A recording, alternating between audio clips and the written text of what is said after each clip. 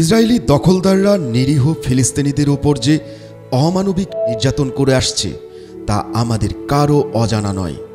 আপনি হয়তো এই বিষয়টা নিয়ে অনেক সংবাদ দেখেছেন, কিন্তু আজ আপনাদের যে মুভির গল্পটি বলতে চলেছি, তা আপনার সকল কল্পনাকে হার মানাবে, কারণ এটা কোনো গল্প নয়, না কোনো সংবাদও নয়। ফিলিস্তিনের ছোট্ট একটি মেয়ের সাথে ঘটে যাওয়া সত্য একটি ঘটনা। যে ঘটনার ভয়াবহ স্মৃতি সেই ফিলিস্তিনি মেয়েটি এখনও বয়ে বেড়াচ্ছে।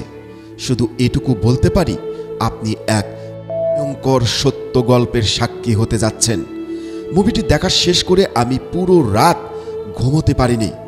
আর আমার ধারণা, এই মুভিটি দেখার পর ইসরায়েলের প্রতি আরও বেশি ক্ষোভ এবং ইনা জন্মাবে আপনার মনে। তো কথা না বাড়িয়ে চলুন, মুভির মূল গল্পে চলে যাওয়া যাক।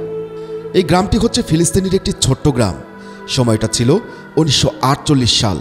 দ্বিতীয় বিশ্বযুদ্ধের পরবর্তী সময়ে ওই গ্রামেরই একটি ঝর্ণার পাশে গ্রামের কিছু মেয়ে একসাথে খেলছিল।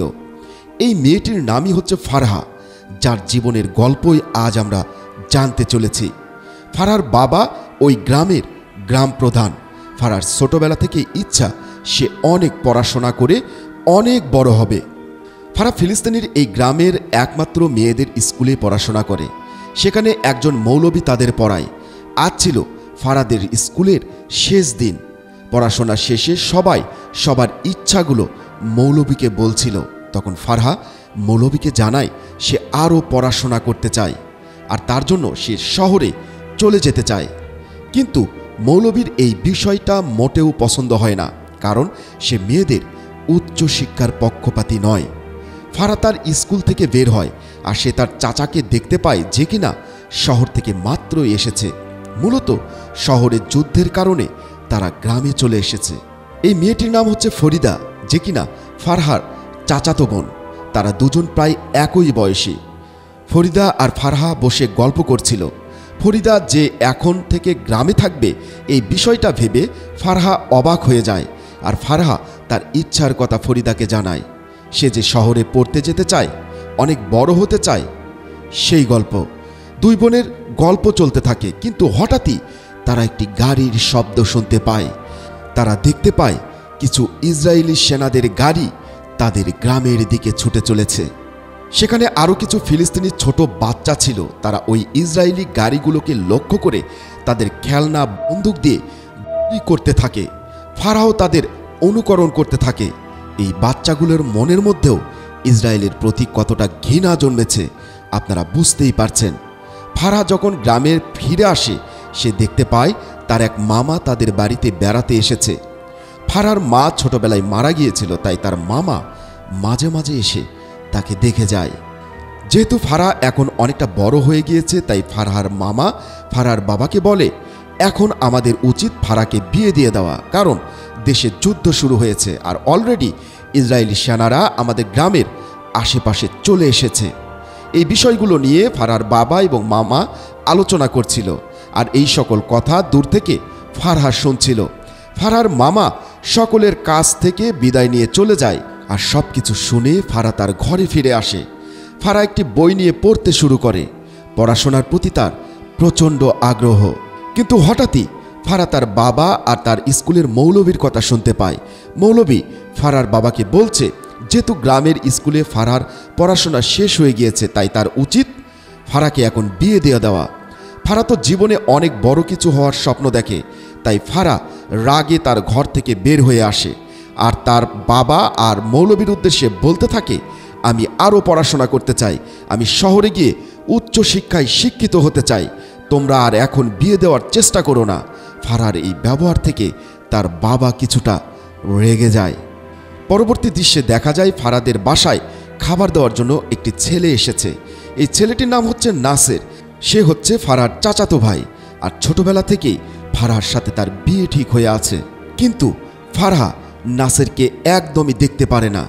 ফিলিস্তিনের প্রত্যন্ত এই গ্রামে ফারার বয়সী একটি মেয়ের বিয়ে হচ্ছিল। সেখানে ফারা আর ফরিদা দুই বনি এসেছে। তারা দুজনে অনেক মজা করতে থাকে, কিন্তু হঠাৎই ফারা থেমে যায়। তার মুখটা একদম মলিন হয়ে গিয়েছে, কারণ তার মনে পড়ে যায়, কয়েকদিন পরে তারও তো এমন বিয়ে হয়ে যাবে। আর সেই সাথে তার স্বপ্নগুলো চিরতরে হারিয়ে যাবে। বিয়ের অনুষ্ঠান শেষে দুই বোন বাসায় ফিরছিল, আর তখনই ফারা দেখতে পায় তার বাসার সামনে তার বিয়ে নিয়ে তার বাবা আর তার চাচার মধ্যে কথা হচ্ছে। ফারার বিষয়টা একদমই পছন্দ হয় না। সে তার বাবাকে বলে যে, বাবা, আমি এখনই বিয়ে করতে চাই না।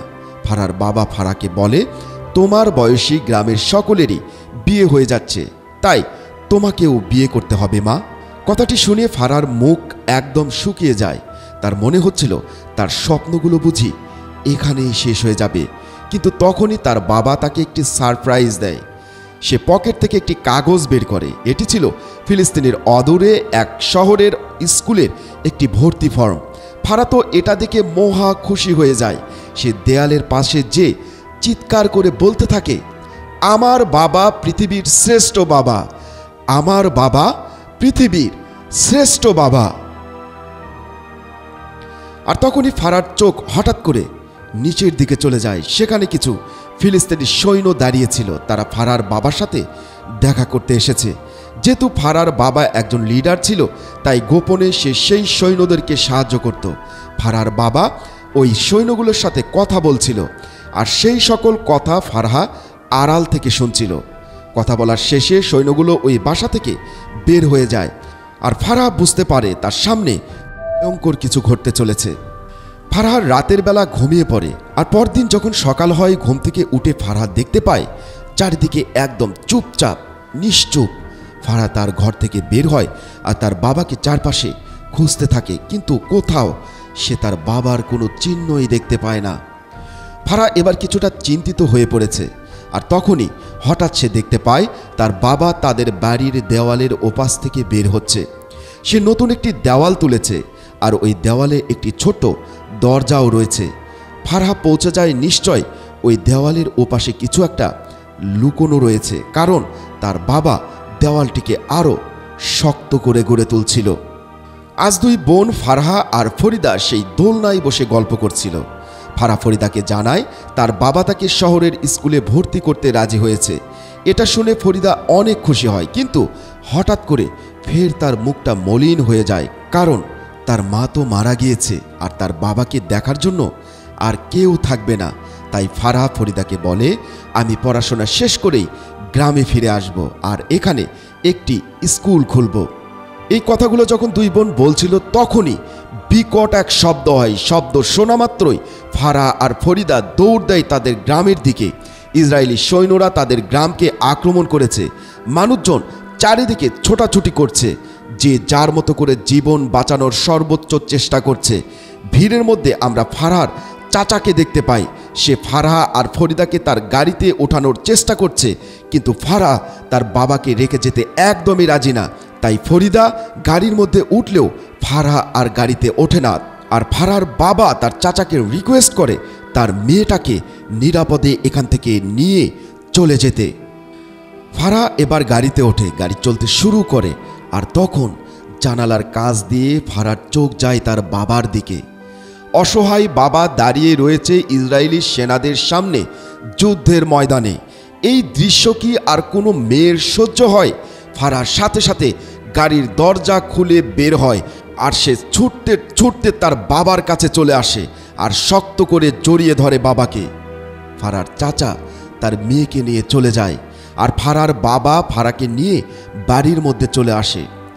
আর বাড়ির গোপন একটি জায়গা থেকে ফারার বাবা একটি বন্দুক বের করে। সে যুদ্ধের জন্য প্রস্তুত ছিল ইসরায়েলের বিরুদ্ধে। কিন্তু যখনই সে ফারাকে নিয়ে মূল দরজার কাছে চলে আসে, ফারার বাবা বুঝে যায় যে তাদের অনেক দেরি হয়ে গিয়েছে।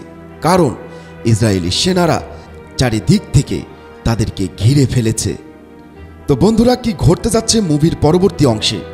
ইসরায়েলি সেনারা কি ফারার বাবাকে মেরে ফেলবে? কি হবে?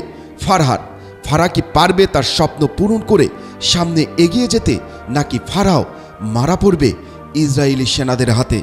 গল্পের পরবর্তী অংশ ভরা থাকছে টান টান উত্তেজনায়।